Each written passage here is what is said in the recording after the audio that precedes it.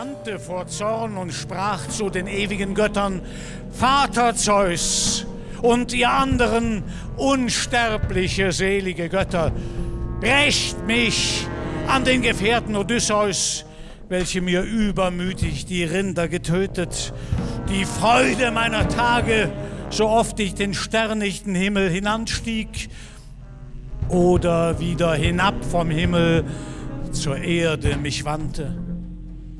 Büßen die Frevler mir nicht vollgültige Buße des Raubes, steig ich hinab in Aides Reich und leuchte den Toten.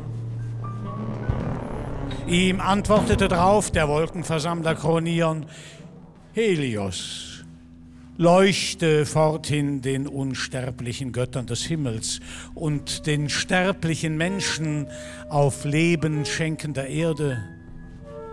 Bald will ich jenen das rüstige Schiff mit dem flammenden Donner mitten im dunklen Meer in kleine Trümmer zerschmettern.